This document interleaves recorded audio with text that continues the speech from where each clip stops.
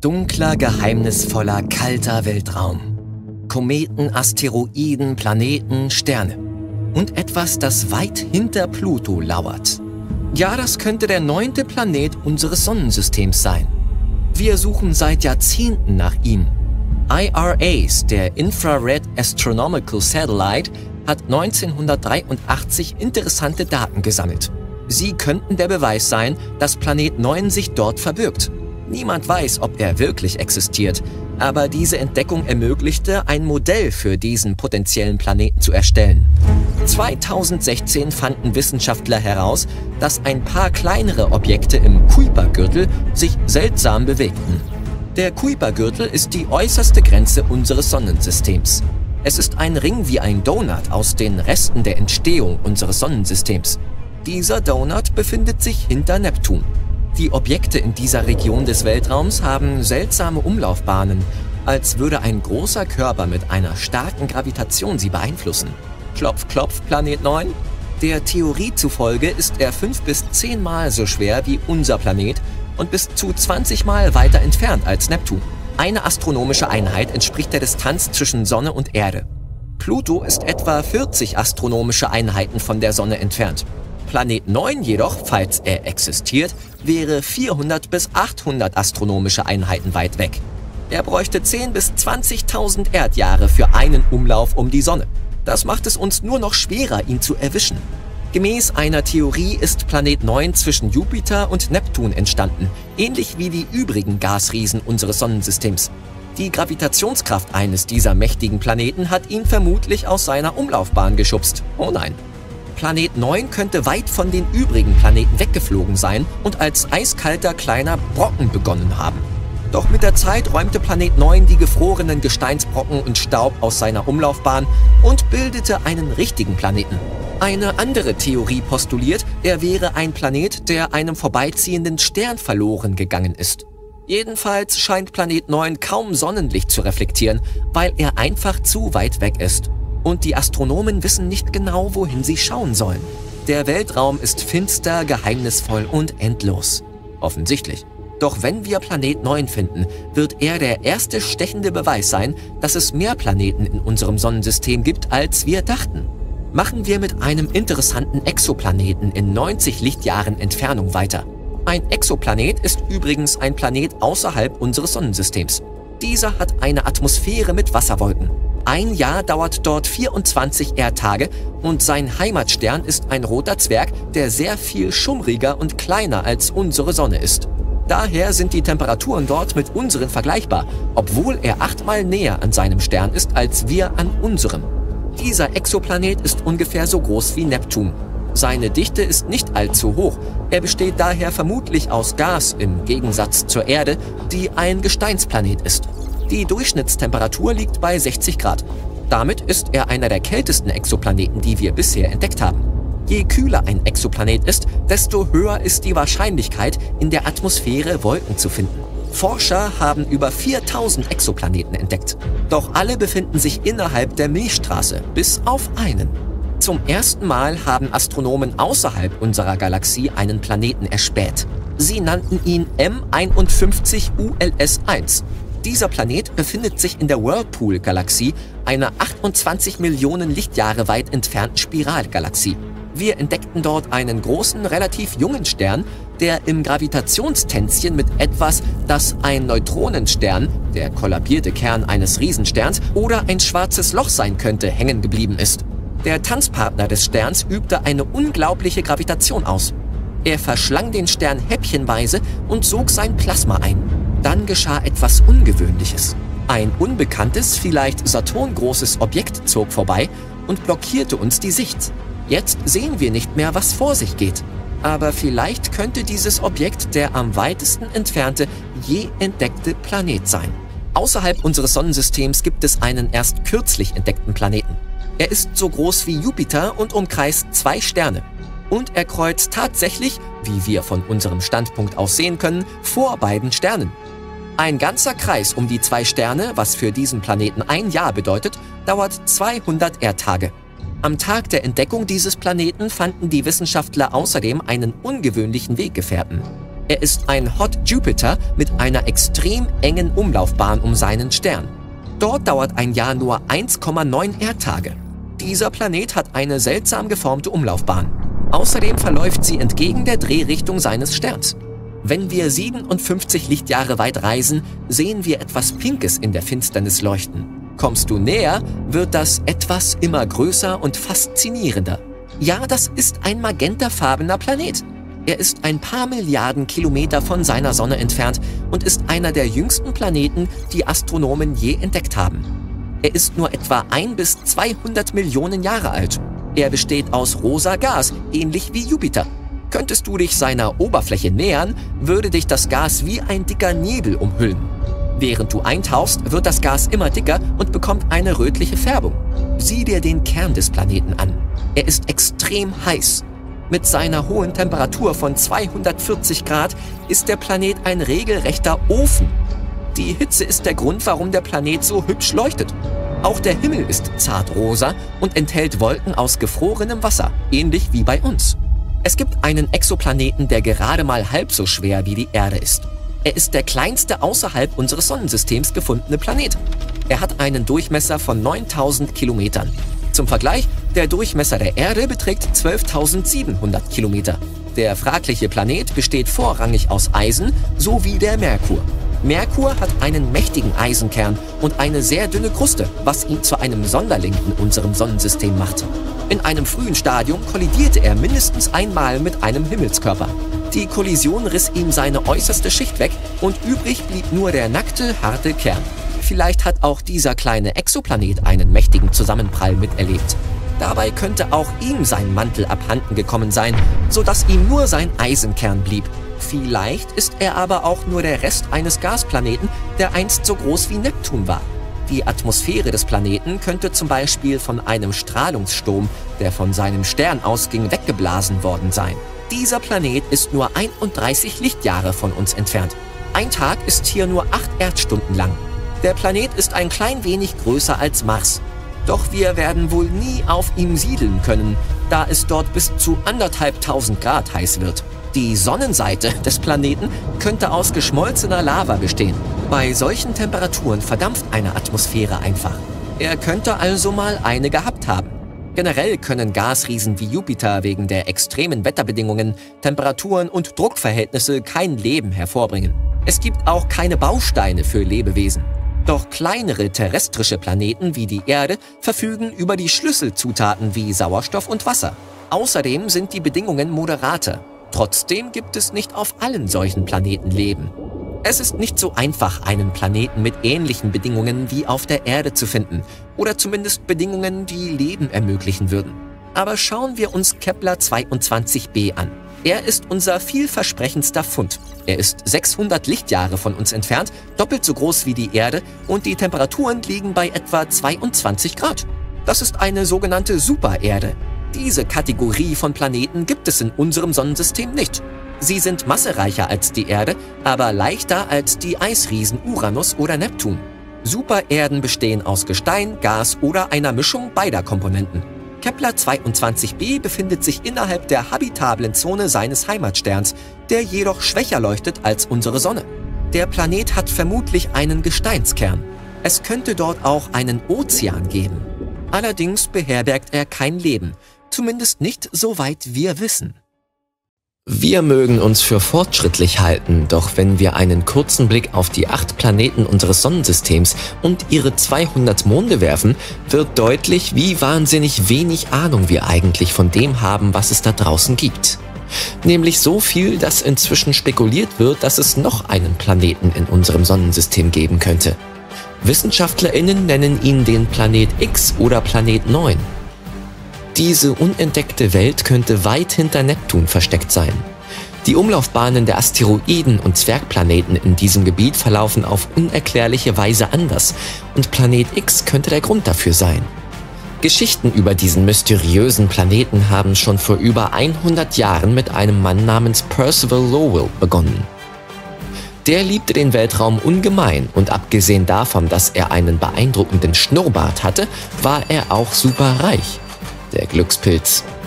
Er nutzte seinen Reichtum, um sich ein Observatorium in Arizona zu bauen. Dann widmete er es dem Studium der seltsamen Bewegungen von Uranus und Neptun. Ihre Anziehungskraft ist langsamer als die aller anderen Planeten in unserem Sonnensystem, fast so, als würde ein riesiges verstecktes Objekt sie vom Kurs abbringen. 1906 stellte Lowell die Theorie auf, dass es jenseits von Neptun einen weiteren Planeten geben könnte, der diese seltsamen kosmischen Ereignisse wahrscheinlich verursachte. Der Mann nannte diesen potenziellen Weltraumkörper Planet X. 1930 wurde Pluto entdeckt, und zwar von Clyde Tombaugh in Lowells Observatorium. Es sah so aus, als hätten die Menschen endlich eine Erklärung für die seltsamen Orbitmuster. Lowells Team war nach der Entdeckung auf Wolke 7, doch die Feierlichkeiten waren nur von kurzer Dauer. Bald fanden sie heraus, dass Pluto viel zu klein war, um einen so großen Einfluss auf die umliegenden Planeten zu haben. Und er war auch zu weit von ihnen entfernt. Also ging es zurück ans Reißbrett. Planet X, falls er existiert, ist zehnmal so groß wie die Erde und viermal so groß wie ihr Radius. Es würde mindestens 10.000 Jahre dauern, bis der Planet einmal die Sonne umkreist hätte. Und er wäre mehr als 200 Mal weiter von ihr entfernt als unser Heimatplanet. Das sind 600 astronomische Einheiten vom Zentrum des Sonnensystems entfernt. Zu deiner Info, eine astronomische Einheit entspricht der Entfernung zwischen Sonne und Erde. Aber auch wenn das sehr weit weg klingt, ist es das nicht. Der Abstand zwischen Raumkörpern wird normalerweise in Lichtjahren gemessen. Und eine astronomische Einheit ist eine viel kleinere Maßeinheit. Für den Kontext, das am weitesten von der Erde entfernte Objekt, das wir kennen, ist die Galaxie GNZ11. Hübscher Name, oder? Die liegt unglaubliche 32 Milliarden Lichtjahre entfernt. Trotzdem können unsere Teleskope sie noch immer erkennen und ein einziges Lichtjahr entspricht über 63.000 astronomischen Einheiten. Wow. Wenn unsere Technik also eine so weit entfernte Galaxie erkennen kann, wie konnten wir dann Planet X übersehen? Nun, wahrscheinlich liegt es daran, dass es ihn vielleicht gar nicht gibt. Die Theorie von Planet X wurde 1989 so ziemlich widerlegt. Da hat man entdeckt, dass die mysteriöse Anziehungskraft von Neptun die ganze Zeit ein Ablenkungsmanöver gewesen war. WissenschaftlerInnen hatten massiv falsch eingeschätzt, wie groß Neptun tatsächlich war. Voyager 2 besuchte den Planeten und fand seine tatsächliche Größe heraus. Diese neue Information erklärte die seltsamen Anziehungskräfte, was bedeutet, dass sie nicht vom sogenannten Planeten X verursacht wurden. Doch da hört unsere Recherche noch nicht auf, da der hypothetische neunte Planet vor etwa zehn Jahren wieder aufgeploppt ist. Während die Beweise für Lowells Theorie falsch waren, war der Glaube an die Existenz von Planet X es möglicherweise nicht. 2015 entdeckten die Astronomen Michael Brown und Konstantin Batygin, dass hinter Neptun tatsächlich unerklärliche Gravitationskräfte im Spiel waren. Es gibt dort Trabanten, die ihre Planeten senkrecht umkreisen, was sonst nirgendwo in unserem Sonnensystem passiert. Es gibt da auch Asteroidenhaufen, die sich auf sehr spezifische Weise bewegen. So spezifisch, dass es im Grunde unmöglich ist, dass es zufällig sein könnte. Noch seltsamer, es gibt dort Trabanten, die sich im Gegensatz zu den meisten anderen Dingen im Sonnensystem in völlig entgegengesetzter Richtung zur Sonne bewegen. Ein Planetoid namens Setna scheint ebenfalls in Richtung von irgendetwas gezogen zu werden, zusammen mit sechs anderen, die alle in dieselbe Richtung wandern. Und Brown und Batygin sind nicht nur irgendwelche anderen Sternengucker. Sie sind beide angesehene Wissenschaftler auf dem Höhepunkt ihrer Karriere. Konstantin Batygin wurde vom Forbes Magazine als einer von 30 Wissenschaftlern genannt, die die Welt verändern werden. Und Mike Brown war der Mann, der Pluto als Zwergplaneten neu definierte. Das heißt, wenn diese Typen etwas sagen, ist es normalerweise ziemlich legitim und du solltest wahrscheinlich zuhören. Doch die einzige Möglichkeit, wirklich zu beweisen, dass Planet X existiert, besteht darin, ihn tatsächlich zu finden. Und das hat sich als ziemlich schwierig herausgestellt. Um den Planeten zu lokalisieren, müssten wir die sogenannte Transitmethode anwenden. Dabei beobachten wir im Grunde eine ganze Reihe von Sternen über einen längeren Zeitraum und achten auf Lichteinbrüche, die sie abgeben. Diese Einbrüche würden wahrscheinlich von einem Planeten verursacht, der im Weg steht. Und tada, die Existenz von Planet X könnte bewiesen werden. Doch damit diese Methode funktioniert, müssen die Erde, der neue Planet und die Sonne alle perfekt ausgerichtet sein. Diese Umstände sind ziemlich selten. Und wenn diese Bedingungen nicht gegeben sind, tritt der Lichteinbruch nicht auf. Außerdem würde diese Methode nur wirklich bei Planeten funktionieren, die näher an der Sonne sind als unsere Erde. Das sind Venus und Merkur. Für alles, was über die Erde hinausgeht, ist diese Technik ziemlich nutzlos. Eine weitere Technik, die wir anwenden könnten, besteht darin, den potenziellen Planeten durch ein gutes altmodisches Teleskop zu finden. Aber wie du dir vorstellen kannst, ist das wahnsinnig knifflig. Das am weitesten entfernte Objekt, das wir in unserem Sonnensystem gefunden haben, ist ein Planetoid mit dem passenden Namen Far Far Out. Also weit, weit weg. Doch der ist nur 140 AE von der Sonne entfernt. Das ist gerade mal ein Viertel des Weges zu Planet X. Wir können ein Objekt nur aufgrund seiner Helligkeit sehen. Die Sonne ist für uns sehr gut sichtbar, weil sie riesige Lichtmengen aussendet. Und wir können den Mond sehen, weil er das Licht der Sonne reflektiert. Technisch betrachtet hat der Mond kein Recht heller zu erscheinen als alles andere am Nachthimmel. Er scheint nur heller, weil wir näher an ihm dran sind. Je weiter weg ein Objekt ist, desto weniger hell erscheint es uns. Das Hauptproblem beim Sehen des theoretischen Planeten X ist, dass alle Objekte in unserem Sonnensystem ihr Licht von der Sonne bekommen. Sie reflektieren das Sonnenlicht und des Sie reflektieren das Sonnenlicht und deshalb können wir sie sehen. Angesichts der Entfernung von Planet X von der Sonne ist es fast unmöglich, ihn zu erkennen.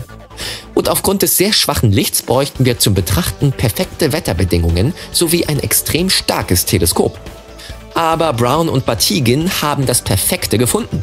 Das Subaru-Teleskop befindet sich auf der Spitze eines schlafenden Vulkans auf Hawaii. Es ist riesig und kann selbst das schwächste Licht von weit entfernten Weltraumobjekten einfangen. Das Problem ist, dass wir herausfinden müssen, in welche Richtung wir es drehen sollen. Ohne zu wissen, wo Planet X sich tatsächlich befindet, ist das Ganze im Grunde nur ein riesiges Ratespiel. Es gibt auch nur etwa drei Nächte jedes Jahr, in denen die Bedingungen klar genug sind, um den hypothetischen Planeten X zu sehen. Es ist schwierig, aber nicht unmöglich. Und trotzdem haben die meisten Astronominnen aufgegeben, sich geeinigt, dass Planet X nicht existiert und erklärt, dass er nur ein geläufiger Mythos sei. Die am weitesten verbreitete Erklärung für die seltsamen Anziehungskräfte lautet, dass es in unserem Sonnensystem ein winziges schwarzes Loch gibt. Das zieht die Planeten zu sich heran. Aber keine Sorge, angeblich ist es nicht groß genug, um tatsächlich an einem Planeten zu knabbern. Auf der Erde ist also alles gut. Für den Moment. Das Problem mit der Theorie des schwarzen Lochs ist, dass auch dieses Ding fast unmöglich aufzuspüren ist. Zwar wäre seine Masse theoretisch so groß wie die vom Planet X, doch dabei wäre das Loch selbst auf die Größe einer Orange zusammengequetscht. Teleskope würden nichts nützen. Um es zu finden, müssten die Menschen nach den Gammastrahlen suchen, die von Objekten ausgesendet werden, wenn sie in ein schwarzes Loch stürzen. Eine andere Möglichkeit, es zu finden, besteht darin, hunderte von winzigen Raumfahrzeugen loszuschicken. Die würden nahe genug an dem hypothetischen Loch vorbeikommen. Und wenn sie davon angezogen werden, könnten wir es wahrscheinlich aufspüren. Aber gibt die Theorie von Brown und Batygin noch nicht auf. Die NASA dokumentiert sie noch immer weiter. Und bis wir eindeutige Hinweise finden, die jegliche Theorien beweisen, kann Planet X noch immer irgendwo da draußen sein. Wir könnten uns der Entdeckung eines riesigen, eisigen Planeten jenseits der Umlaufbahn des Neptuns nähern. Tut uns leid, Pluto, du bist es immer noch nicht. Kürzlich hat die Kartierung des Universums mit Daten von einem Teleskop auf Hawaii etwa 78 Prozent der möglichen Standorte für diesen geheimnisvollen Waldo aus dem All ausgeschlossen. Einige Menschen nennen es Planet 9, während andere es lieber Planet X nennen. So oder so, es hat seit seinem ersten Vorschlag Kontroversen verursacht. Und das liegt hauptsächlich daran, dass bisher keine Studie die große Frage beantworten kann. Existiert es wirklich? Wenn entdeckt, würde Planet 9 als der fünftgrößte Planet in unserem Sonnensystem eingestuft werden. Mit einer Masse, die zehnmal größer ist als die der Erde. Es wird auch theoretisiert, dass er gasförmig ist, wie Uranus. Die erste Studie zum Planeten 9, die bis ins Jahr 2016 zurückreicht, legt nahe, dass dieser kolossale neue Planet die Sonne 20 Mal weiter draußen umkreist als Neptun, der etwa 4,5 Milliarden Kilometer entfernt ist. Dadurch würde der Planet 9 zwischen 10.000 und 20.000 Jahre benötigen, um eine einzige Umrundung der Sonne zu vollenden.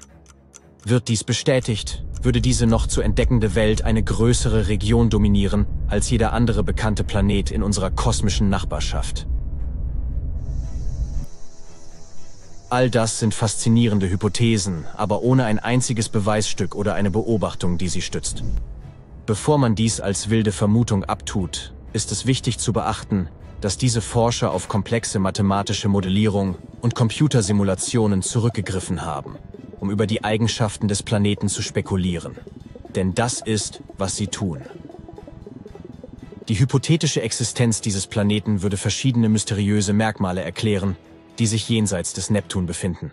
Wir sprechen hier speziell über den Kuipergürtel, eine riesige, donutförmige Region voller eisiger Überreste aus der Entstehungszeit des Sonnensystems, einschließlich Kometen und Zwergplaneten wie Pluto. Was hier passiert, ist folgendes. Die sechs am weitesten entfernten Objekte im Kuipergürtel zeigen elliptische Bahnen, die alle in einer ähnlichen Richtung im physischen Raum ausgerichtet sind und etwa 30 Grad nach unten geneigt sind, relativ zur Umlaufbahn unserer acht bekannten Planeten. Was hier seltsam ist, ist, dass sie trotz ihrer unterschiedlichen Umlaufgeschwindigkeiten um das Sonnensystem herum diese Ausrichtung beibehalten. Die Wahrscheinlichkeit, dass eine solche Ausrichtung zufällig auftritt, ist extrem niedrig. Ungefähr 0,007 Prozent. Hier kommt der Planet 9 ins Spiel.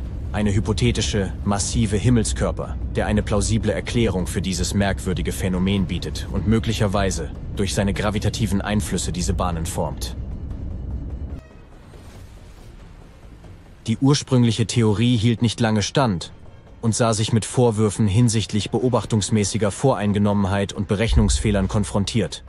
Dann tauchte im Jahr 2017 eine weitere Studie auf, die die Idee wieder aufkommen ließ, dass Planet 9 vielleicht doch existiert. Dieses Mal versuchten spanische Astronomen einen neuartigen Ansatz und konzentrierten sich auf die Beobachtung extremer transneptunischer Objekte. Diese Himmelskörper umkreisen die Sonne auf stark gestreckten elliptischen Bahnen, wobei die durchschnittlichen Entfernungen 22 Milliarden Kilometer überschreiten. Die Forschung deutet darauf hin, dass die Entfernungen zwischen den Knoten dieser Objekte und der Sonne Hinweise auf den Standort des Planeten 9 liefern könnten. Sie sehen, diese Knotenpunkte sind die Stellen, an denen die Umlaufbahn eines Himmelskörpers die Ebene des Sonnensystems schneidet. Wenn diese Objekte diese Punkte erreichen, ist die Wahrscheinlichkeit einer Interaktion mit anderen Himmelskörpern im Sonnensystem höher, was zu bedeutenden Veränderungen ihrer Umlaufbahnen oder sogar zu Kollisionen führen kann. Also, wenn die Flugbahn dieser extremen transneptunischen Objekte stabil bleibt, ist alles in Ordnung. Aber wenn sie es nicht ist, dann ist das ein Zeichen dafür, dass etwas anderes, etwas Großes ihren Weg stört. Und genau das haben die Forschungen herausgefunden. Da draußen gibt es etwas Unsichtbares, das diese Objekte von ihrem Kurs abbringt. Und dieses Etwas könnte ein Planet sein, der in einer Entfernung von 300 bis 400 Mal weiter von der Sonne entfernt ist als die Erde. Bis heute ist die Erforschung der extremen transneptunischen Objekte der stärkste Beweis, den wir für die Existenz des Planeten 9 haben. Und wenn Sie von dieser Theorie immer noch nicht überzeugt sind, Bedenken Sie, dass seltsame Bewegungen wie diese schon zuvor zu Planetenentdeckungen geführt haben.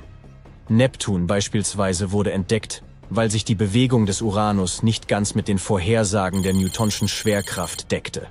Aber die Ablenkung seiner Umlaufbahn konnte erklärt werden, wenn sie durch die Anziehungskraft eines noch unentdeckten Planeten verursacht wurde. Und genau so haben wir Neptun entdeckt. Das Jahr ist 21 und 20 und es gibt wieder all diesen Wirbel um Planet 9.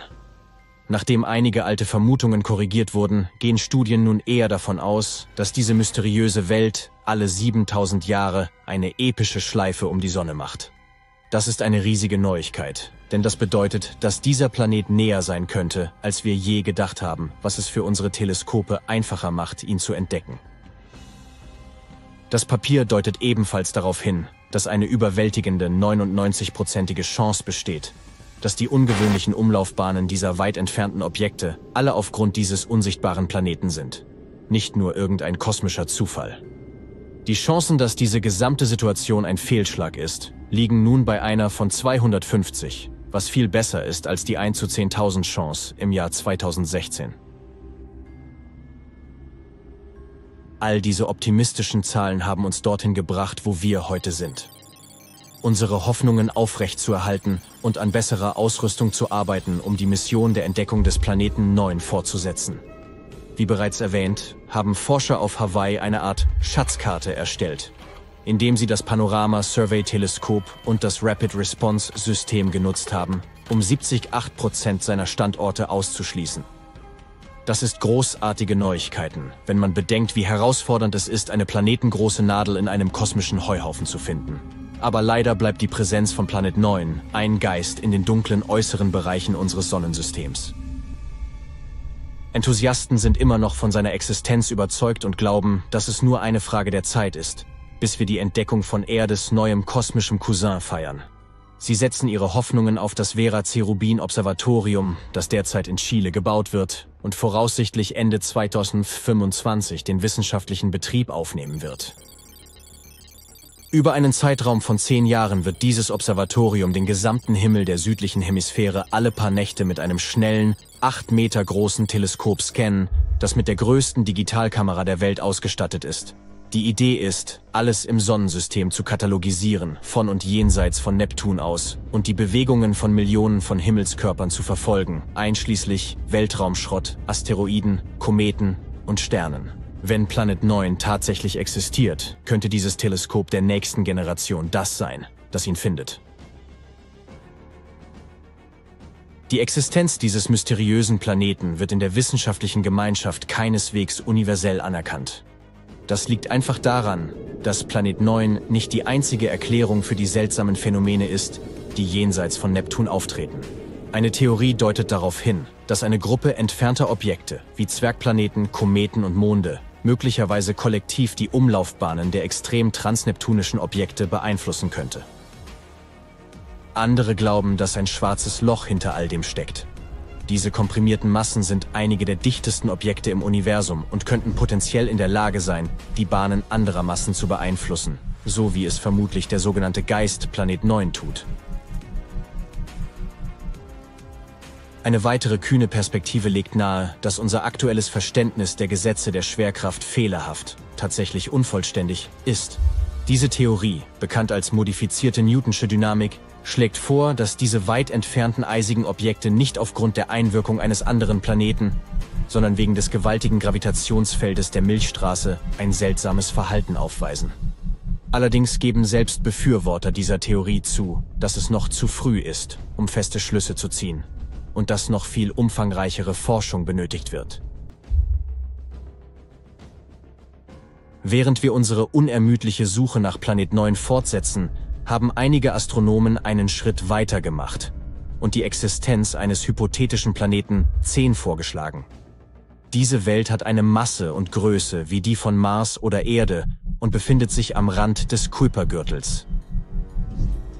Aber die Sache ist die, wenn dieser angebliche Planet 10 tatsächlich so klein ist, wie Wissenschaftler glauben, könnte er möglicherweise nicht genug Schwerkraft haben, um seine Umlaufbahn von Trümmern zu räumen. Und das ähnelt ziemlich dem, was mit Pluto passiert. Einer der Gründe, warum er im Jahr 2006 in Schwierigkeiten geriet. Also ja, es ist besser, nicht zu aufgeregt zu sein.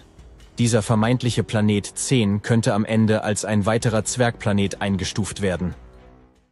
Über tausende von Jahren kannten die Menschen nur die Planeten Merkur, Venus, Mars, Jupiter und Saturn die sie mit einfachen Teleskopen oder sogar mit bloßem Auge sehen konnten, wenn die Bedingungen gut waren. Aber im späten 18. Jahrhundert, 1781, entdeckte ein berühmter Astronom Sir William Herschel einen neuen Planeten, der eisblau in Farbe war. Zuerst dachten die Leute, es wäre ein Stern, aber später erkannten sie, dass es ein Planet war. Heute kennen wir ihn als Uranus, einen Planeten, der mehr als 19 Mal weiter von der Sonne entfernt ist als die Erde. Er ist so weit weg, dass es Uranus 84 Jahre braucht, um einmal um die Sonne zu reisen. Dieser Astronom entdeckte auch viele andere interessante Dinge im Weltraum, wie Doppelsterne und Nebel. Mitte der 1800er Jahre bemerkten Wissenschaftler, dass etwas den Uranus anzog und seine Umlaufbahn seltsam beeinflusste.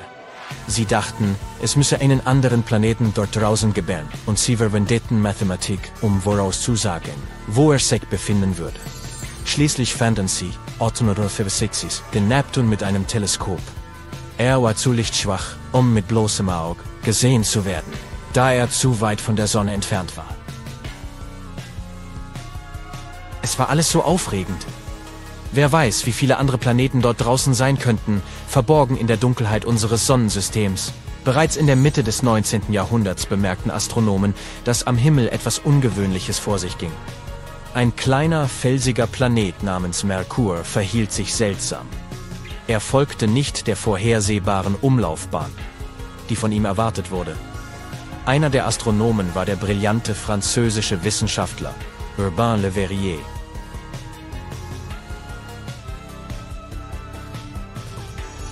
Er kam auf die Theorie, dass es einen weiteren Planeten in unserem Sonnensystem geben könnte, den noch niemand entdeckt hat. Dieser wäre irgendwo zwischen Merkur und der Sonne lokalisiert. Dieser hypothetische Planet, den er nach dem römischen Gott des Feuers, Vulkan, benannte, hätte eine unglaublich heiße Oberfläche und er könnte eine mögliche Erklärung für das merkwürdige Verhalten des Merkurs sein. Er hat sicherlich nie behauptet, dass Vulkan wirklich das eine Ding war, das die Umlaufbahn des Merkurs störte. Aber angeregt durch die Möglichkeit, einen neuen Planeten zu entdecken, nahmen Astronomen auf der ganzen Welt die Idee von Vulkan auf. Für einen Planeten, der nicht existierte, verpflichteten sich die Leute, Ideen zu entwickeln und Informationen darüber zu sammeln. Einige Wissenschaftler hielten es für unwahrscheinlich, dass sie einen anderen Planeten in der Größe von Merkur übersehen hätten. Es wäre schwer gewesen, ihn bis dahin nicht zu sehen. Aber es bestand eine winzige Chance, dass ein kleinerer Planet innerhalb der Umlaufbahn von Merkur existierte, der der Sonne so nahe war, dass niemand ihn sehen konnte. Eine Theorie besagte, dass er etwa 21 Millionen Kilometer von der Sonne entfernt war. Merkur ist der Planet mit der exzentrischsten Umlaufbahn in unserem Sonnensystem, aber der nächste Punkt, den er zur Sonne erreicht, beträgt etwa 28,5 Millionen Meilen. Das bedeutet, dass Vulkan weniger als die Hälfte dieser Entfernung sein würde. Die Theorie geht weiter und sagt, dass, wenn Vulkan existierte, er alle 19 Tage und 18 Stunden die Sonne umkreisen würde und seine Bahn etwa 12 Grad relativ zur Bahn anderer Planeten in unserem Sonnensystem geneigt wäre. Die Position des Vulkans an seinem entferntesten Punkt von der Sonne wäre immer noch zu nahe an der Sonne, um mit bloßem Auge gesehen zu werden, selbst in der Dämmerung. Die einzige Möglichkeit, den Vulkan zu sehen, wäre während einer Sonnenfinsternis oder wenn er vor der Sonne vorbeizieht, was laut Theorie zwei bis viermal im Jahr geschehen würde. Sie hatten die Theorie, dass dieser mysteriöse Planet so nahe an der Sonne war, dass er nur während einer totalen Sonnenfinsternis gesehen werden konnte, wenn der Mond das blendende Licht der Sonne blockierte. Also jedes Mal, wenn es eine Finsternis gab, würden Wissenschaftler hoffnungsvoll auf die Sonne schauen, in der Hoffnung, einen Blick auf Vulkan zu erhaschen. Sie haben sich wirklich angestrengt, aber egal was sie taten, Sie konnten diesen mysteriösen Planeten nicht finden. Einige Astronomen behaupteten, ihn während Sonnenfinsternissen gesichtet zu haben, aber niemand konnte das jemals bestätigen oder Beweise dafür finden. Die Theorie von Vulkan wurde für bessere Zeiten auf Eis gelegt, von Vulkan. Einstein hatte eine andere Idee. Sie wissen über seine allgemeine Relativitätstheorie Bescheid, oder? Das ist dort, wo er behauptete, dass die Schwerkraft keine Art natürliche Kraft ist, sondern das Ergebnis von gekrümmter Raumzeit aufgrund der Präsenz von riesigen Weltraumobjekten, wie Planeten und Sternen, ist. Planeten kreisen in ihrer üblichen Umlaufbahn um die Sonne, weil die Raumzeit gekrümmt ist. Das bedeutet, dass die Planeten sozusagen auf den Zentralstern unseres Sonnensystems fallen. Und Einstein versuchte die ungewöhnliche Umlaufbahn des Merkurs mit seiner eigenen Relativitätstheorie zu erklären. Im Gegensatz zu den anderen Planeten in unserem Sonnensystem war die Umlaufbahn des Merkurs nicht so kreisförmig. Stattdessen schien sie leicht zu schwanken, als ob eine unsichtbare Kraft sie abziehen würde. Einstein sagte, dass dies möglicherweise passieren könnte, weil die massive Schwerkraft unserer Sonne tatsächlich das Raumzeitgewebe um sie herum krümmt. Er behauptete, es sei möglich, dass dies die Umlaufbahn des Merkurs ein wenig verändert habe. Es dauerte eine Weile, bis die wissenschaftliche Gemeinschaft diese Theorie testen konnte, aber sie schien schließlich die plausibelste Erklärung zu sein. Obwohl Einsteins Theorie uns eine elegantere Erklärung für Merkurs seltsame Umlaufbahn gab, hofften einige Wissenschaftler immer noch auf den Vulkan. Es war besonders schwer, die Idee von Vulkanen loszulassen, weil Merkur auch der Planet ist, der von unserem Standpunkt aus wirklich schwer zu sehen ist.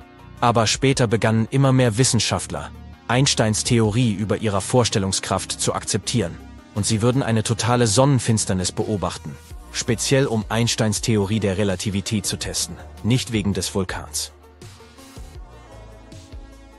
Und Vulkan ist nicht der einzige hypothetische Planet, über den alle gesprochen haben. Im neueren Zeitalter glauben einige, dass es einen mysteriösen Planeten geben könnte, der in den äußeren Teilen unseres Sonnensystems lauert. Aber dieser existiert wahrscheinlich. Niemand hat ihn bisher direkt gesehen, aber Computersimulationen zeigen, dass dieser sogenannte Planet 9 oder Planet X wahrscheinlich irgendwo jenseits von Neptun liegt. Neptun und Planet X könnten ähnlich in der Größe sein. Planet X könnte zehnmal massiver als die Erde sein und kreist in einer länglichen Form um unsere Sonne, die durchschnittlich 20 Mal weiter von der Sonne entfernt ist als Neptun. Ein Jahr dort könnte zwischen 10.000 bis 20.000 Erdjahren dauern. Im Vergleich dazu dauert ein Jahr auf Neptun 165 Erdjahre. Etwas so Großes, das sich dort draußen hinter dem Neptun bewegt, könnte die ungewöhnlichen Umlaufbahnen kleinerer Objekte im Kuipergürtel erklären. Der Kuipergürtel ist der Teil unseres Sonnensystems jenseits des Neptuns, wo es sich dreht. Und dort gibt es wahrscheinlich viele Asteroiden, Kometen und einige andere kleinere Körper, die hauptsächlich aus Eis bestehen. Es gab einen weiteren hypothetischen Planeten namens Nibiru. Erinnerst du dich an die Gerüchte, dass die Welt 2012 enden könnte? Eines der populären Szenarien war Nibiru, von dem einige behaupteten, er würde unseren Heimatplaneten Ende des Jahres treffen. Natürlich ist nichts passiert. Wir sind immer noch alle gut und munter. Aber die Idee von Nibiru schien interessant. Geschichten begannen in den 1970er Jahren 1976, als ein Mann Zechariah Sitchin Nibiru in seinem Buch Der zwölfte Planet erwähnt behauptet, es umkreise die Sonne alle 3600 Jahre. Aber es besteht keine Chance, dass ein Planet mit einer derart exzentrischen Umlaufbahn die anderen Planeten in unserem Sonnensystem mit seiner Schwerkraft nicht stören würde. Und wenn er wirklich im Jahr 2012 so nahe an der Erde gewesen wäre, hätten wir ihn mit bloßem Auge sehen sollen. Einige einfache Berechnungen zeigten, dass Nibiru fast so hell wie der Mars in seinem dunkelsten Zustand und heller als die schwächsten Sterne, die man von einer Stadt aus sieht gewesen wäre. Nun, vielleicht haben wir in den nächsten 3500 und einigen Jahren mehr Glück. Im Jahr 2011 erschien ein Komet Elenin, von dem viele Menschen dachten, er könnte Nibiru sein. Aber wenn man durch ein Teleskop auf Kometen und Planeten schaut, sieht man, dass sie sich unterschiedlich darstellen.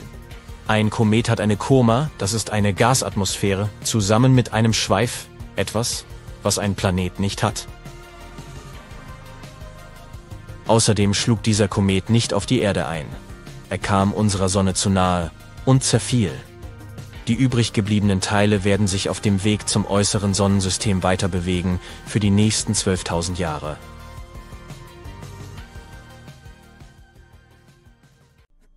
Wenn Planeten explodieren, wird ziemlich heikel. Atmosphären verschwinden. Zeug fliegt durch die Gegend, alles kollabiert. Die Welt wird heller als ein Dutzend Sonnen. Du musst dir deine Augen und Ohren zuhalten. Deine Haare stehen dir zu Berge. Die gewaltige Kraft einer kosmischen Explosion ist angsteinflößend. Kurz vor der ersten Explosion schwebst du durch komplette Finsternis. Unter dir siehst du den Mond. Zumindest gehst du davon aus. Die Oberfläche dieses hell leuchtenden Körpers ist mit Kratern von Meteoriteneinschlägen übersät. Du kannst gigantische Hügel erkennen, die sich kilometerweit strecken. Es ist Merkur. Und nun lässt du ihn explodieren. Wie in Zeitlupe siehst du den Planeten zerbröseln. Und schon kommt eine Wand aus Weltraumtrümmern auf dich zugeflogen. Zuerst riesige Steinbrocken, die Überreste der Planetenkruste und seines Steinmantels. Das Aussehen und die Struktur der Trümmer, die jetzt auf dich zufliegen, verändern sich. Das Zeug sieht flüssig aus, fast wie Quecksilberspritzer. Das ist der metallische Kern des Merkur, der auseinanderfliegt. Er machte 85 Prozent des Volumens des Planeten aus. Und danach kommt wieder ein Feuerwerk festen Gesteins. Das sind die Reste des Kerns. Die Explosion ist so gewaltig, dass sie die Erde aus ihrer Umlaufbahn wirft. Die Sonne absorbiert einen großen Teil der Staubwolke. Das ist alles, was von Merkur übrig geblieben ist. Aber keine Sorge, unser Sonnensystem wird seine Planeten behalten. Diese Explosionsutopie ist nur ein Experiment. Wenn du hiermit fertig bist, klickst du auf ein anderes Video und die Planeten sind wieder heile, wie zurückgespult. Auf deinem Weg triffst du auf den nächsten Planeten. Seine Oberfläche versteckt sich unter einer superdichten Atmosphäre aus Kohlendioxid. Würdest du auf der Venus landen wollen, wärst du von Schwefelsäurewolken umgeben. Die Oberfläche des Planeten erschiene dir rotbräunlich, trocken und verdammt heiß. Du könntest über flache, geschmeidige Ebenen laufen, die zwei Drittel des Planeten ausmachen. Außerdem wären da noch Vulkane, genauer gesagt 1600 von ihnen. Naja, das wird jedoch nicht passieren. Du drückst nämlich auf den Knopf. Riesige Basaltbrocken kommen aus der Explosion herausgeflogen. Das war mal die 18 Kilometer dicke Kruste des Planeten. Dann siehst du helle brennende Meteoriten auf dich zufliegen, und zwar im Mordstempo. Die sind Überbleibsel des zerschmolzenen Steinmantels der Venus. Der Feuerregen hört nicht auf, könnte daran liegen, dass der Mantel 1900 Kilometer dick war. Aber auch das war nicht der massivste Teil des Planeten. Die Kraft der Explosion zerreißt den Metallkern der Venus. Sein Durchmesser war doppelt so breit wie der gesamte Mantel. Du erreichst den blauen Schein deines Heimatplaneten. Wie er wohl von innen aussieht. Von oben betrachtet sieht er zumindest echt hübsch aus. 71 Prozent seiner Oberfläche sind wegen seiner Meere und Ozeane blau. Es gibt aber auch grüne, gelbe und braune Flecken sowie weiße Wirbel. Hm, du drückst auf den Knopf. Der Planet zerberstet in alle Einzelteile. Die Gesteinsbrocken entstammen der dünnen Erdkruste und dem weitaus dickeren Erdmantel. Die beiden Schichten machten fast 84 Prozent des gesamten Volumens der Erde aus. Das sind brühend heißes Eisen und Nickel, die den äußeren Erdkern gebildet haben. Die Metalle waren nicht genügend Druck ausgesetzt, um fest zu sein. Die Explosion ist so gewaltig, dass der innere Erdkern entzweibricht. Das war mal ein fester Ball aus Eisen und Nickel. Nachdem die Erde in alle Einzelteile zersprengt wurde, umkreisen diese die Sonne. Die massiveren Brocken kollidieren mit dem Mond und einige reisen noch weiter und werden von der Sonne verschluckt. Aber du hast keine Zeit, der rote Planet wartet auf dich. Die Oberfläche des Mars ist mit rostfarbenem Staub überzogen. Die Staubschicht ist überall verschieden dick, doch in den meisten Fällen sogar zwei Meter. Die Farben des Marsbodens reichen von Gold und Braun über Lohfarben bis hin zu einem Grün. Der Farbton hängt von den Mineralen ab, die sich in der Erde befinden. Die Oberfläche ist steinig. Darauf findest du trockene Seebetten, Krater, Vulkane und Berge. Bang! Der Mars ist ein Gesteinsplanet. Du musst also berggroßen Trümmern aus vulkanischem Basalt ausweichen. Als nächstes siehst du etwas, das wie Zahnpasta aus cremigem Gestein aussieht. Das war der Marsmantel, der aus Sauerstoff, Silikaten und anderen Mineralen bestand. Dann wird das fliegende Gestein wieder fest. Ah, da kommt auch schon der Marskern. Der war auch mal fest und umfasste Eisen, Nickel und Schwefel. Milliarden und Trilliarden Teile, mondgroß oder nur wenige Meter im Durchmesser, werden in alle Richtungen gesprengt. Doch nur wenige von ihnen verlassen das Sonnensystem. Das ganze Ereignis verändert die Umlaufbahn der Erde. Und die Temperatur steigt um ganze 10 Grad. Du lässt die steinigen Planeten hinter dir und näherst dich dem ersten Gasgiganten, Jupiter. Seine Oberfläche versteckt sich unter braunen, gelben, roten und weißen Wolken. Die lassen den Planeten farbenfroh und schön gestreift aussehen. Egal, du drückst den Knopf. Dieses Mal jedoch sieht alles anders aus. Anstatt Trümmer und Kruste siehst du Strahlströme aus Gas vom Planeten entweichen. Das Gas dürfte die Atmosphäre des Jupiters sein, die aus Wasserstoff und Helium besteht. Und binnen kürzester Zeit wird die Materie, die ins All fliegt, flüssig. Das liegt am Wasserstoff, der unter immensem atmosphärischem Druck seine Form verändert, sobald er dem Planetenkern nahe ist. Wenig später ist die Flüssigkeit bereits eine Legierung aus metallischem Wasserstoff und Helium. Und endlich etwas Festes. Das war vermutlich Jupiters Kern, der übrigens 14 bis 18 Mal der Masse der Erde entspricht. Der Durchmesser des Giganten betrug knapp 150.000 Kilometer. Die Explosion des Jupiters ist so gewaltsam, dass sie kleinere Planeten wie den Mars oder die Erde in Luft auflöst. Doch die Sonne kriegt davon kaum etwas mit. Sie wird zwar heißer und kurzzeitig etwas instabil, aber das hält nicht lange an. Der nächste Gasriese auf deinem Weg ist Saturn. Auf den ersten Blick sieht es so aus, als hätte er eine Oberfläche. Die scheinbar gelb-bräunliche Sphäre ist von Wolkenschichten umgeben. Die berüchtigten Ringe des Saturns sind echt ein Hingucker. Sie erstrahlen in Grau, Beige und Braun. Und tatsächlich bestehen sie aus kleinen Ringelgrüppchen aus Eis, Steinen und Staub. Diese Trümmerteile können so groß wie Wolkenkratzer sein. Während sie den Saturn umkreisen, kollidieren sie miteinander und größere Trümmer zerspalten sich immer weiter. Du bist überrascht, dass die Ringe nicht perfekt rund sind. Durch die Anziehungskraft der Saturnmonde biegen sie sich teilweise. Bisher wurden 53 davon entdeckt. Titan, eine Eiswelt größer als unser Mond und sogar Merkur, ist der größte. Was du jetzt siehst, ähnelt dem, was du schon bei der Explosion vom Jupiter gesehen hast. Es gibt nur einen Unterschied. Die Ringe des Saturn brechen auseinander und schleudern Wrackteile in wahnsinniger Geschwindigkeit ins All. Große Trümmer stoßen dabei auf die Monde und rotten die kleinsten von ihnen völlig aus. Ein Gasstromspektakel entsteht vor deinen Augen, bestehend aus Wasserstoff, Helium, ein bisschen Methan, Ammoniak und Wasser. Die Ströme fliegen nur so vom Kern des Planeten weg oder dessen, was mal war. Danach kommt flüssige Materie. Das ist flüssiger Wasserstoff, der später metallisch wird und letztendlich der feste Kern aus Gesteinsmaterial. Nun blickst du auf die wundervoll blau-grüne Sphäre des Eisgiganten Uranus. Dieser Planet leuchtet so, weil das Sonnenlicht auf ihm reflektiert wird. Außerdem besteht er größtenteils aus Wasserstoff und Helium mit Spuren von Methangas, die das rote Licht absorbieren. Wie auch immer. Bumm! Dieses Mal kommen dir massive Eiskleckse entgegengeflogen. Diese entstammen dem Eismantel des Planeten, der ihn einst zu 80 Prozent bedeckte. Aber warum sieht das Eis flüssig aus? Auf dem Uranus ist gefrorenes Wasser nicht fest wie auf unserer Erde. Das Eis ist dort eine heiße, dichte Flüssigkeit aus Wasser, Ammoniak, Eis und Methan. Der Planet wird deshalb oft Wasser-Ammoniak-Ozean genannt. Nach dem seltsamen Eisregen siehst du Gestein, das aus dem Planetenkern stammt. Der war ganz klein, nicht mal halb so schwer wie die Erde. Einige der Uranusmonde werden durch die Explosion pulverisiert. Andere werden einfach aus dem Sonnensystem geschossen. Die Explosion wirkt sich auch ein bisschen auf Neptuns Umlaufbahn aus. Und der letzte Planet auf deiner Reise. Neptun sieht wegen seiner Schicht wirbelnder Gase und Wolken so blau aus. Gleich nicht mehr. Boom! Der Planet hat keine feste Oberfläche, deshalb siehst du, wie Neptuns flüssiger Mantel durch die Luft schleudert. Sieht aus wie ein mit Wasser gefüllter Ballon, der vom 50. Stock runtergeworfen wird. Wasserspritzer, Ammoniak und Methaneis gelangen so ins All. Lavaartige Überbleibsel aus dem Mantel des Planeten fliegen auch hinterher. Der war einst flüssig, ultra heiß und reich an Methan, Ammoniak und Wasser.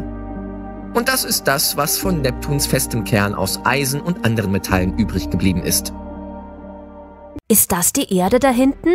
Ja, genau. Sieh nur, wie sie durch das Weltall schwebt inmitten ihrer Planetenkumpels. Das ist der orange-rote Mars. Und Jupiter mit seinem Asteroidengürtel. Sogar der winzige Pluto ist da. All diese Planeten halten respektvoll Abstand voneinander und ziehen artig ihre Bahnen. Sie sind halt nicht zu gesellig. Aber das ist auch gut so. Es gäbe nur Ärger, wenn sie aneinander stießen.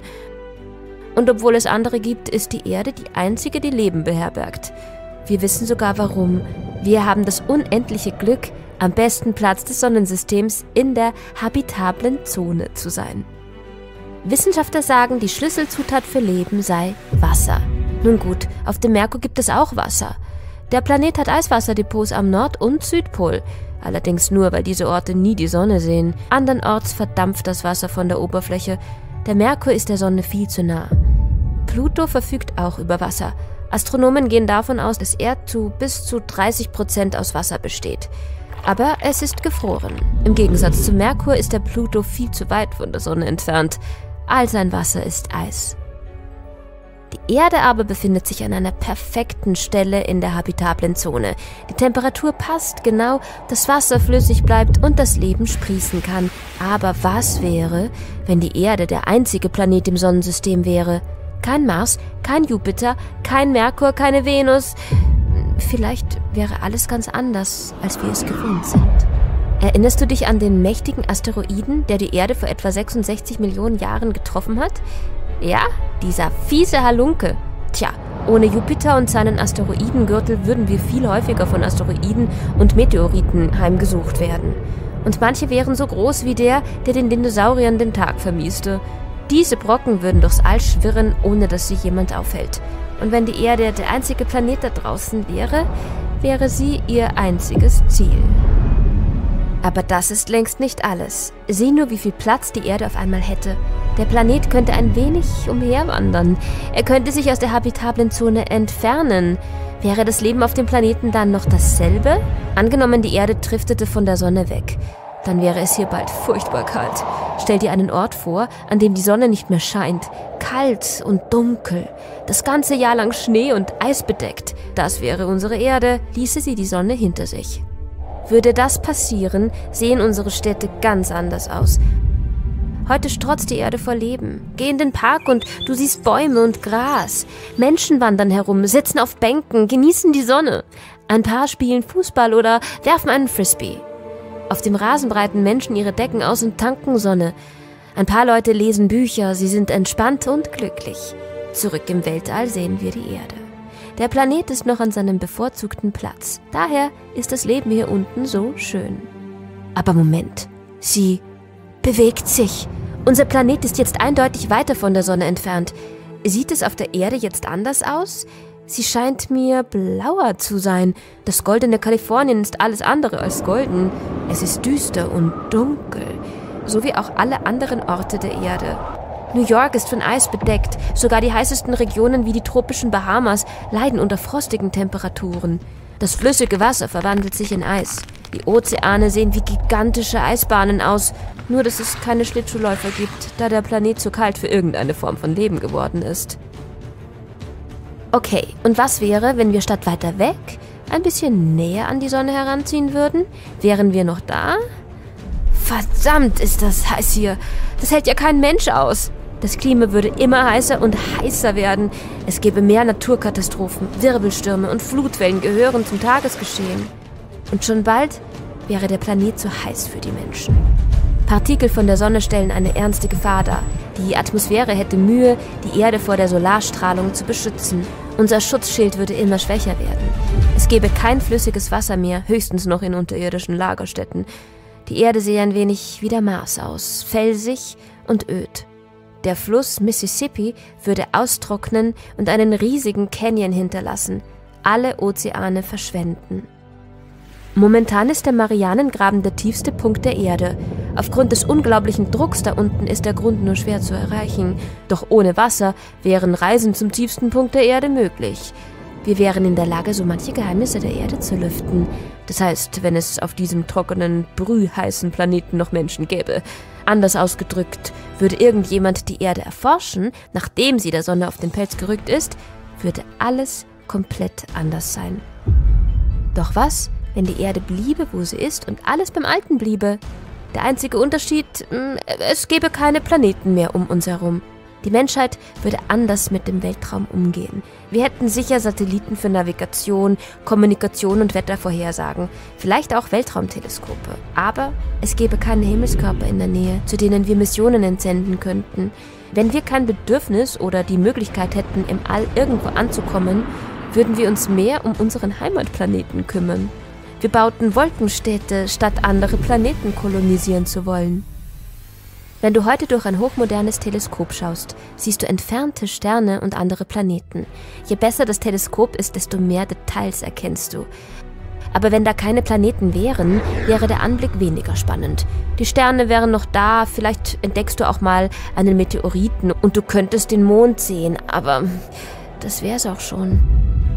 Weltraumorganisationen würden sich eher um die Sicherheit der Erde kümmern, vor allem weil Asteroiden uns weitaus häufiger heimsuchen würden. Um den Planeten zu schützen, müssten Wissenschaftler Wege finden, sie loszuwerden. Vielleicht ein gigantischer Laserstrahl, der bis zum Mond und weiterstrahlt? Statt Raketen zur Erforschung des Weltraums zu konstruieren, wären SpaceX und die NASA in der Asteroidenabwehr tätig. Die Menschen würden nicht mehr versuchen, andere Zivilisationen zu kontaktieren. Gäbe es keine erdähnlichen Planeten, wäre das reine Zeitverschwendung. Es würde also keine permanenten Funksignale ins Weltall geben. Hast du übrigens gewusst, dass im Februar 2008 der Beatles-Song Across the Universe anlässlich des 40. Geburtstags des Liedes und des 50. Jahrestags der NASA ins Universum übertragen wurde? Auch in den 70ern wurden schon Funksignale ins Weltall gesendet. Sie beinhalteten Informationen über die Menschen und unser Sonnensystem. Aber es war mehr eine Demonstration der Leistungsfähigkeit der Technologie als ein Versuch, Außerirdische zu kontaktieren. Ohne Planeten um uns herum wäre das Science-Fiction-Genre ein ganz anderes. Es gäbe keine Filme über Reisen durchs Universum. Weder riesige Raumschiffe noch Raketen flackerten über die Kinoleinwände. Und da es keine Expeditionen zu anderen Planeten gäbe, schickten wir auch keine Erkundungsfahrzeuge auf die Suche nach Zeichen von Leben und neuen Welten, wie es der Mars Rover aktuell tut. Die Menschen würden sich auf ihren eigenen Planeten konzentrieren und vielleicht sein Inneres erkunden. Neue Technologien könnten uns ermöglichen, viel tiefer zu graben, durch die Erdkruste hindurch und noch tiefer. Wäre eine Reise zum Mittelpunkt der Erde nicht aufregend? Statt Astronauten gäbe es Untergrundentdecker. Vielleicht würden wir sie Erddecker nennen. Durch neue Bohrtechnik wäre der Grabprozess deutlich effektiver. Es gäbe neue Fahrzeuge. Sie würden sich durch den Untergrund bohren und die Forscher vor den enormen Druck da unten schützen. Bei der Erforschung der Welt unter der Oberfläche des Planeten würden die Menschen ganz neue Lebensformen finden, mystische Kreaturen, die sich dazu entwickelt haben, in der Dunkelheit bei extremen Temperaturen und wenig Nahrung zu überleben. Auf jeden Fall würde es dem Menschen helfen, seinen Heimatplaneten besser zu verstehen. Jupiter glich einst einem flachen M&M-Süßigkeit, und es war nicht der einzige flache Planet in unserem Sonnensystem. Es stellt sich heraus, dass während der Planetenbildung eine Menge schiefgehen kann wie etwa das Festsetzen an der Sonne oder das Weggeschleudert werden im offenen Weltraum. Lasst es uns genauer betrachten. Die Erde ist nicht flach, aber Jupiter könnte es gewesen sein. Anstatt eine große runde Kugel zu sein, könnten Gasriesen in unserem System eher wie flache Pfannkuchen gestartet sein. Jupiter ist einer unserer ältesten Nachbarn. Er ist 4,6 Milliarden Jahre alt, genau wie unsere Sonne. Und als er noch ein Babyplanet war, bildete er sich wahrscheinlich durch einen Prozess, der als Scheibeninstabilität bekannt ist. Alles beginnt mit Sternen. Wenn ein Stern entsteht, sieht er nicht aus wie ein rundes Objekt. Es ist eher eine große Scheibe aus Material. In dieser Phase blasen sehr heiße Winde aus geladenen Teilchen heraus. Der Staub in dieser Scheibe enthält Elemente wie Kohlenstoff und Eisen. Einige davon kollidieren und kleben zusammen, wodurch größere Objekte entstehen, Staub verwandelt sich in Kieselsteine, Kieselsteine werden zu Felsen und Felsen stoßen aufeinander und werden größer.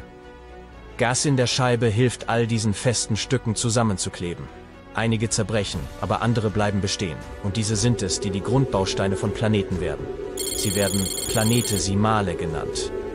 Sogar Gasriesen wie Jupiter haben als winzige Staubpartikel angefangen, die kleiner als ein menschliches Haar sind. Schließlich formten sie ihre eigenen großen, ringförmigen Gasscheiben. Sie begannen, um unsere Sonne zu kreisen und wuchsen, indem sie Gas und Felsen wie Schneebälle sammelten. Gasriesen sind etwas Besonderes. Sie entstanden aus den kühleren Teilen der Scheibe. In kalten Gebieten sind Moleküle langsamer, was das Einfangen erleichtert. An diesen Orten konnte Wasser gefrieren und kleine Eisteile kleben zusammen und vermischen sich mit Staub. Diese schmutzigen Schneebälle sammeln sich und bilden dann die Kerne von riesigen Planeten wie Jupiter, Saturn, Uranus und Neptun. In den wärmeren Gebieten näher am Stern beginnen felsige Planeten wie Merkur, Venus, Erde und Mars sich zu bilden. Nachdem die eisigen Riesen entstanden waren, blieb für diese kleineren Planeten nicht mehr viel Gas übrig. Es könnte 10 Millionen Jahre dauern, bis diese felsigen Planeten nach der Geburt des Sterns entstehen. Und auch unsere Sonne wuchs zur gleichen Zeit. Sie sog naheliegendes Gas auf und drängte weiter entfernte Materie noch weiter hinaus. Nach Milliarden von Jahren veränderte sich die Scheibe vollständig. Sie entwickelte sich zu einem runden Stern mit einer Reihe von Planeten, Zwergplaneten, Asteroiden, Monden, Meteoroiden und Kometen um ihn herum.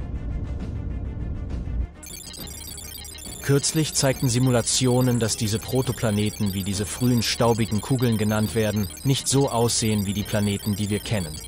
Im Fall von Gasriesen wie Jupiter sahen sie eher aus wie verformte Kugeln oder M&Ms Süßigkeiten, nicht die Art mit Erdnüssen. Als die Sonne noch jung war, kühlte die Scheibe aus Gas und Staub, die sie umgab, ab und wurde instabil. Sie begann in große Brocken zu zerfallen. Diese Brocken stürzten dramatisch unter enormer Schwerkraft zusammen, um Jupiter zu erschaffen. Mit der Zeit wurde er zu einem runden Gasriesen. Es gibt viele Seltsamkeiten, die während des Prozesses der Planetenbildung auftreten können. Haben Sie sich jemals gefragt, warum Venus oder Uranus im Vergleich zu anderen Planeten in die entgegengesetzte Richtung rotieren? Normalerweise, wenn Dinge aus einer rotierenden Gasscheibe entstehen, neigen sie dazu, in dieselbe Richtung zu drehen. Zum Beispiel, wenn Sie eine Reihe von Bällen an einer Schnur drehen, werden sie alle auf die gleiche Weise wirbeln. Also sollten theoretisch alle Planeten in dieselbe Richtung drehen. Aber es gibt viele schnell bewegende Objekte wie Kometen und Asteroiden in unserem Sonnensystem. Wenn sie auf Planeten prallen, besonders in deren frühen Tagen, könnte diese Kollision die Planeten dazu bringen, sich in die entgegengesetzte Richtung zu drehen. Venus und Uranus haben wahrscheinlich eine massive Kollision überstanden. Glücklicherweise wurden sie nicht ins Weltall abgestoßen. Die Gravitationskraft der Sonne und der nahegelegenen Planeten zog sie wieder an ihren Platz. Es gibt auch sogenannte gezeitenverriegelte Planeten.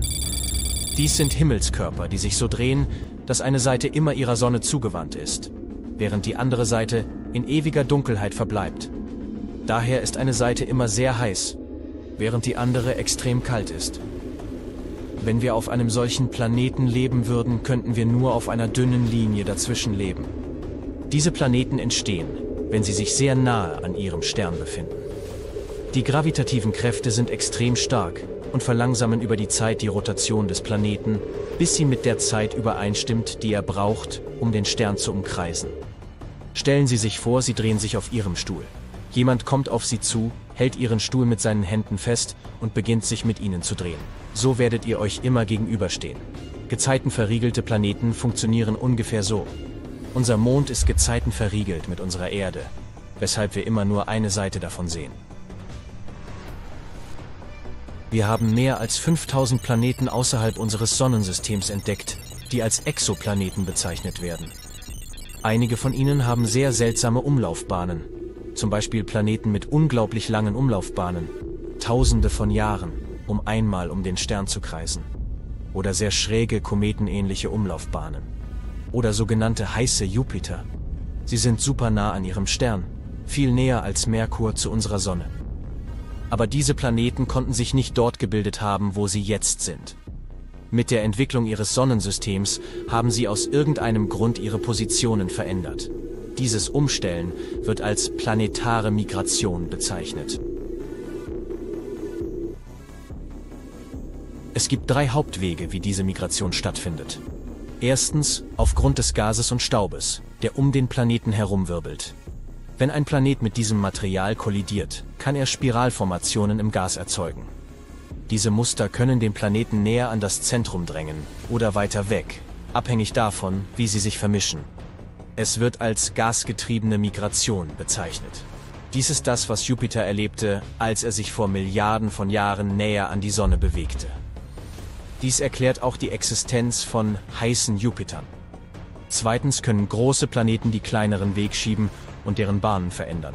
Drittens kann die Gravitation des Sterns an den Planeten ziehen und seine Umlaufbahn kreisförmiger machen. Haben Sie schon einmal von Schurkenplaneten gehört? Stellen Sie sich einen einsamen Planeten vor, der in der Weite des Weltraums schwebt, ohne einen Stern, den er sein Zuhause nennen könnte. Sie sind wie die wandernden Nomaden unserer Galaxie dazu verdammt, ewig umherzutreiben, Und es gibt so viele von ihnen. Es könnte mehr freischwebende Planeten geben als solche, die an Sterne gebunden sind. Wir sprechen von Billionen von Schurkenplaneten, die allein in unserer Milchstraßengalaxie herumhängen. Sie sind oft so massiv wie unser größter Planet, Jupiter. Aber die meisten von ihnen könnten erdgroß sein. Einige könnten sogar dicke Atmosphären besitzen, die sie warm halten, obwohl sie weit von jedem Stern entfernt sind. Einige von ihnen könnten wilde Polarlichter haben, während andere Monde mit flüssigem Wasser beherbergen könnten. Ein potenzieller Zufluchtsort für das Leben. Es besteht sogar die Möglichkeit, dass sie außerirdisches Leben beherbergen könnten. Diese Planeten könnten auf ihrem Weg durch den Weltraum mit anderen Sternen oder sogar ganzen Planetensystemen zusammenstoßen. Manchmal könnten sie für eine Weile im Gravitationsfeld eines Sterns gefangen sein, bevor sie wieder ins All geschleudert werden. Aber wie entstehen sie? Manchmal, während dieses chaotischen Prozesses der Planetenbildung, können nicht alle Planeten in der Nähe ihrer Muttersterne bleiben. Einige von ihnen werden aufgrund starker gravitativer Wechselwirkungen mit anderen Planeten oder vorbeiziehenden Sternen aus ihrem Sonnensystem hinausgeworfen. Diese ausgestoßenen Planeten werden zu vagabunden Planeten. Im Jahr 2012 entdeckten Astronomen ein Sonnensystem aus der allerersten Zeit des Universums. Dieses System beinhaltete einen Stern und zwei Planeten. Wir nannten es ein Fossiliensystem. Der Stern ist super alt, ungefähr 13 Milliarden Jahre, fast so alt wie unser gesamtes Universum. Es bestand hauptsächlich aus Wasserstoff und Helium. Das ist ungewöhnlich, weil Planeten normalerweise aus Gaswolken entstehen, die schwerere Elemente enthalten. Das war der Moment, in dem wir erkannten, dass die Art und Weise, wie Planeten früher entstanden, sich von der Art und Weise unterscheidet, wie sie heute entstehen. Wir wissen, dass Sterne mit mehr Metallen eher dazu neigen, Planeten zu haben. Im astronomischen Jargon bedeutet Metalle jedes chemische Element außer Wasserstoff und Helium. Aber im frühen Universum gab es nicht viele Metalle.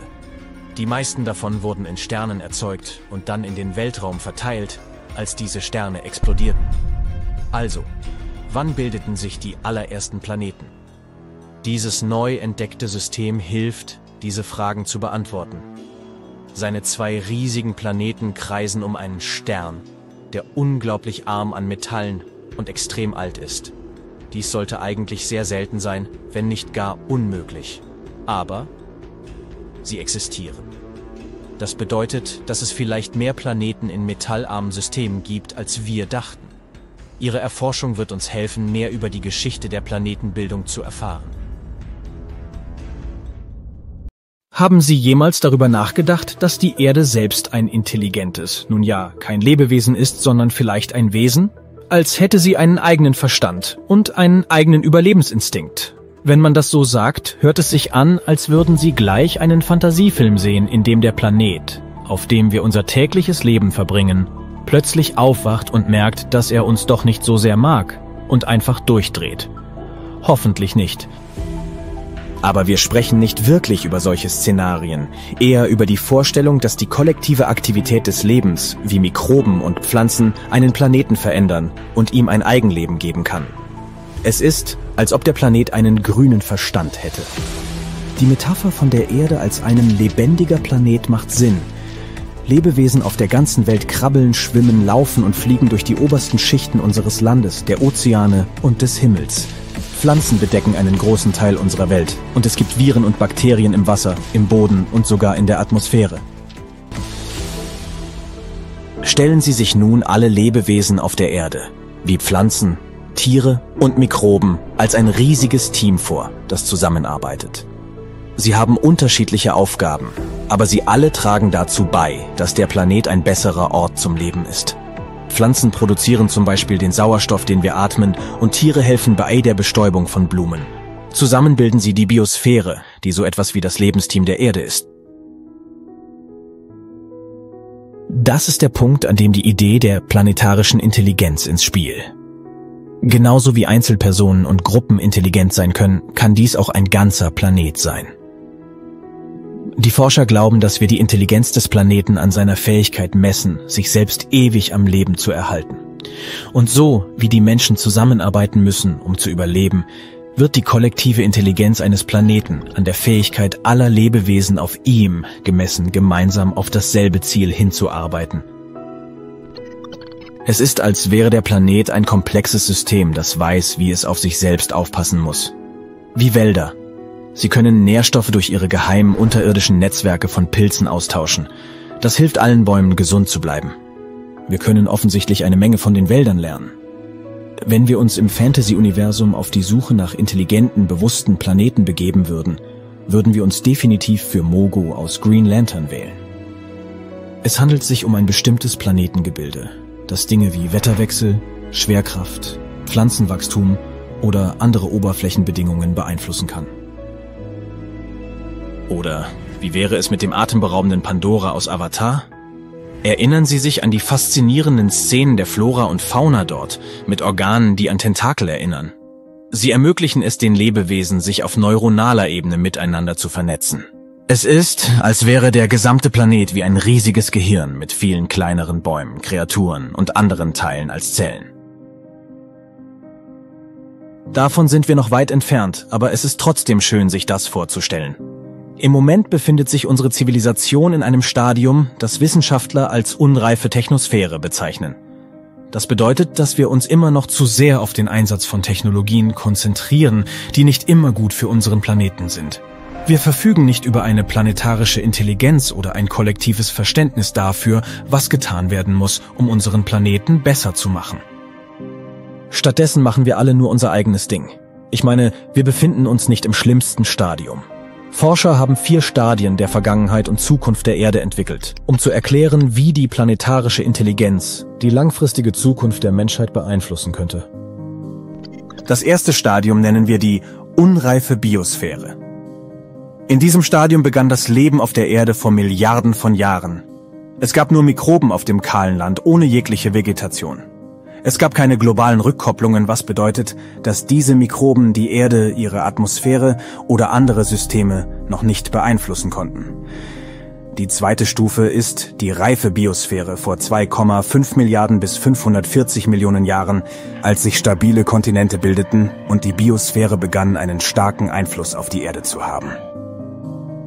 Die dritte Stufe, bekannt als unausgereifte Technosphäre, ist die, in der wir uns jetzt befinden, mit vernetzten Systemen der Kommunikation, Technologie, des Transports, der Elektrizität und der Computer, die Ressourcen aus den Systemen der Erde beziehen und die Biosphäre beeinflussen. Die vierte Stufe, die auch als reife Technosphäre bezeichnet wird, ist der Zustand, den die Erde in Zukunft anstreben sollte, dies bedeutet, dass die Technologie dem gesamten Planeten zugutekommen wird. Wir werden nachhaltige Energieformen wie Solarenergie nutzen. Planetare Intelligenz ist das Zeichen für einen reifen Planeten und die Forscher versuchen herauszufinden, wie wir uns in diese Richtung bewegen können. Was wir auf individueller Ebene tun, ist also von Bedeutung.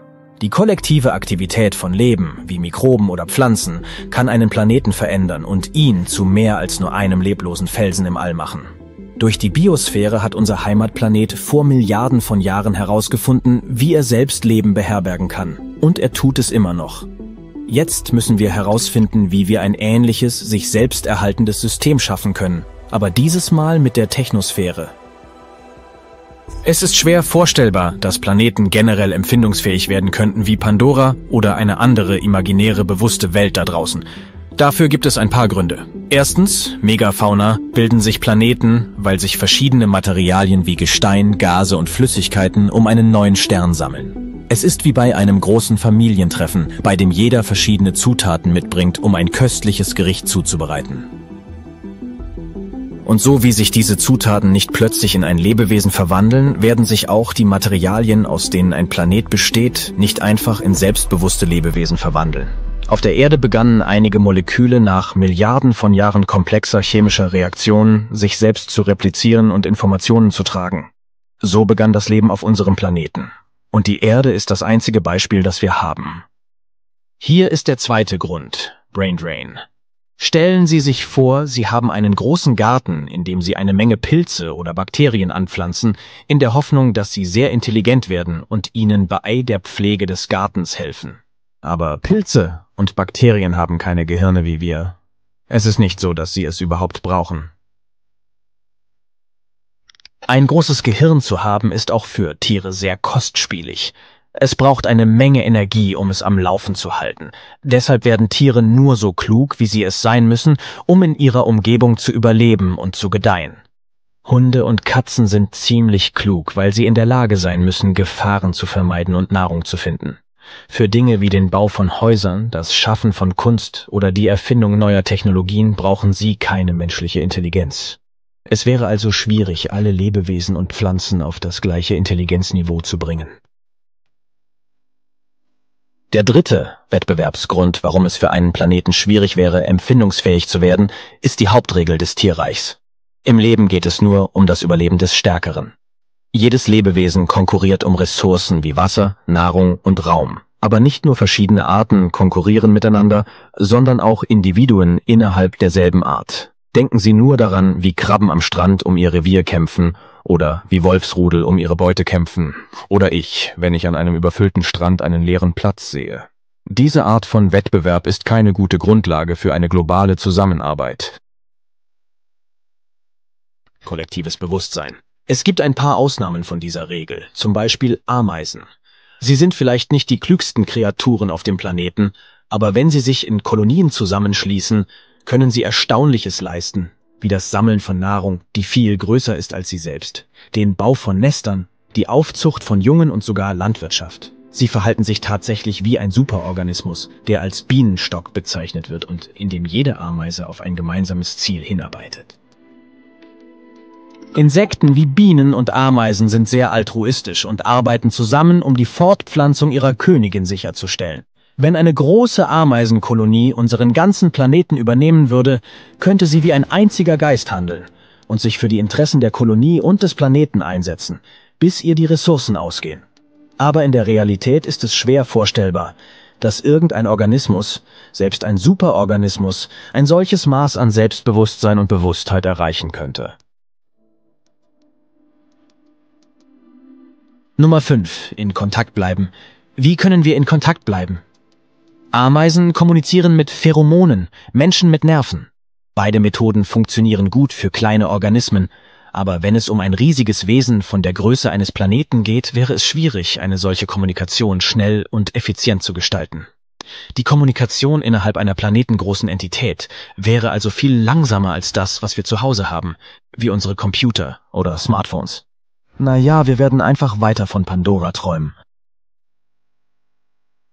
Haben Sie sich jemals gefragt, wie es wäre, wenn jeder Planet in unserem Sonnensystem so groß wie die Erde wäre? Nun, es ist an der Zeit, in dieses verblüffende Szenario einzutauchen. Stellen wir uns einmal vor, wie die einzelnen Planeten aussehen würden, wenn sie so groß wären wie unser geliebter blauer Planet. Würde die karge, rote Landschaft des Mars plötzlich zu einer üppigen grünen Oase werden? Würde der riesige, wirbelnde Gasriese Jupiter einfach verschwinden? Und wie würde sich das auf unser Sonnensystem als Ganzes auswirken? Wären wir alle dem Untergang geweiht? Schnallen Sie sich an und lassen Sie es uns herausfinden.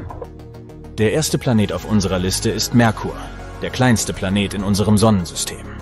Aber jetzt vergessen Sie mal den mondähnlichen Merkur, Stellen Sie sich ich stattdessen vor, Sie befänden sich auf der Oberfläche eines superdynamischen, glühenden Infernos. Um Sie herum gibt es eine Menge Krater und aktive Vulkane. Und direkt vor Ihnen steht eine riesige, blendend helle Sonne. Was für ein Albtraum. Aber lassen Sie uns diese Veränderungen aufschlüsseln. Nun, mit der Größe des Merkurs würden sowohl seine Masse als auch seine Schwerkraft zunehmen.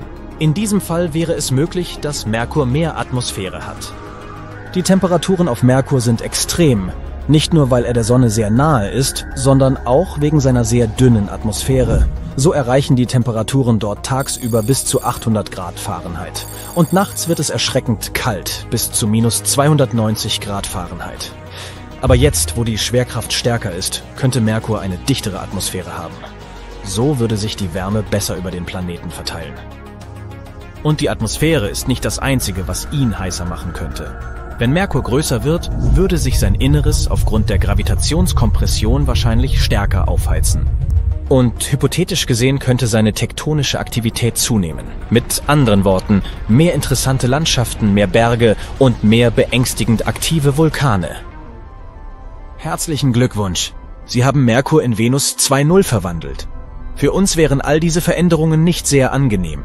Jetzt würde es viel schwieriger werden, unsere Raumschiffe dorthin zu schicken. Es ist also besser, wenn der Merkur so bleibt, wie er ist. Klein, ruhig und langweilig. Im Grunde genommen das komplette Gegenteil unseres nächsten Planeten, der Venus. Was würde also mit der Venus passieren, wenn sie die Größe der Erde hätte? Eigentlich nichts. Sie würde sich überhaupt nicht verändern. Alles nur, weil die Venus bereits fast so groß ist wie die Erde. Man nennt sie sogar den Zwilling der Erde, obwohl Zwilling natürlich ein großes Wort ist. In Wirklichkeit könnten wir nicht unterschiedlicher sein. Die Venus wird oft als Morgenstern bezeichnet, weil sie so hell und sichtbar am Himmel steht. Aber lassen Sie sich von ihrer Schönheit nicht täuschen. Dieser Planet ist einer der unwirtlichsten Orte in unserem Sonnensystem. Seine Oberfläche ist heißer als eine frisch gebackene Pizza, etwa 900 Grad Fahrenheit. Und er ist mit dicken Schwefelsäurewolken bedeckt, die jeden Menschen auflösen würden, der ihn besuchen wollte. Sie werden also leider in nächster Zeit keine Reise dorthin planen. Wenden wir uns also einem Planeten zu, der im Gegensatz zur Venus möglicherweise eine neue Heimat für uns werden könnte. Der Mars. Stellen Sie sich vor, Sie stehen auf der Marsoberfläche beobachten den blauen Sonnenuntergang und atmen eine erfrischende Brise Luft ein. Ja, Sie haben richtig gelesen. Luft.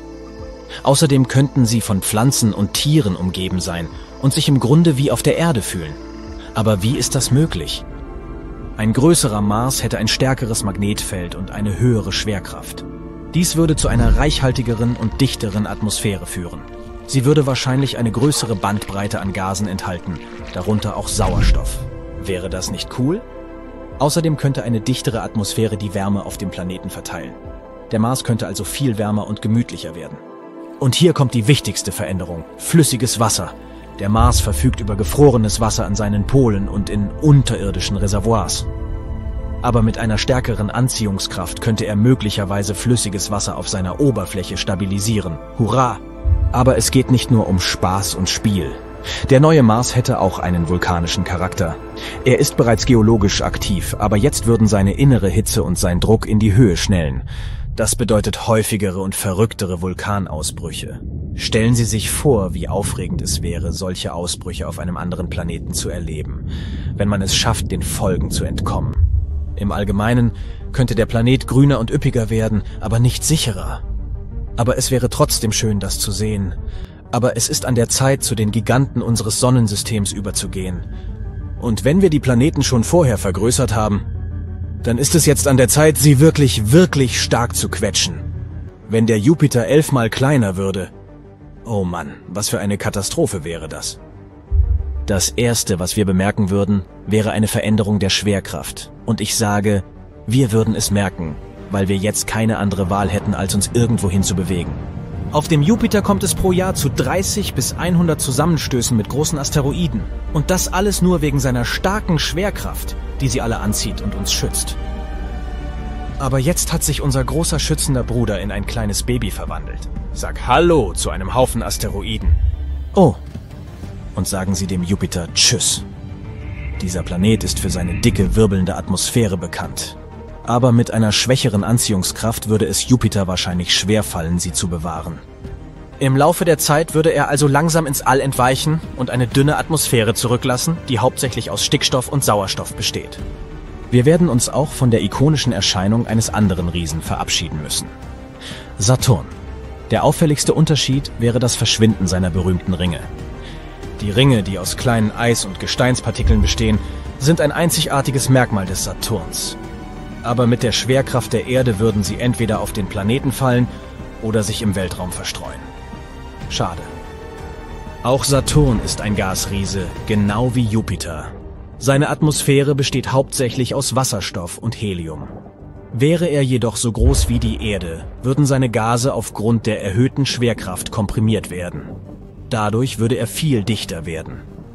Das bedeutet, dass sich die Gesamtgröße und Form des Saturn verändern würde, Theoretisch könnte der Saturn, wenn wir ihn stark zusammendrücken, zu einem braunen Zwerg werden. Das ist eine Art gescheiterter Stern, dem die Masse für eine Kernfusion fehlt, der aber Wärme und Licht abgibt. Saturn könnte also ganz aufhören, ein Planet zu sein. Auch das Wetter auf der Erde hätte sich wahrscheinlich verändert. All seine verrückten Stürme, wie der berühmte sechseckige Sturm an seinem Nordpol, wären schwächer und ruhiger geworden. Der nächste Riese ist Uranus. Versuchen wir diesen armen Kerl zu komprimieren. Zunächst einmal wäre die Schwerkraft auf der Oberfläche des Uranus viel schwächer als jetzt. Auch seine Atmosphäre könnte sich verändern.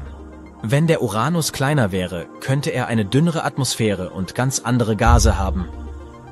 Dieser Planet ist mit einer Durchschnittstemperatur von minus 353 Grad Fahrenheit ziemlich kühl. Aber wenn er so groß wie die Erde wäre, könnte er sich aufgrund seines geringeren Volumens im Verhältnis zur Oberfläche sogar etwas erwärmen. Aber freuen Sie sich nicht zu sehr.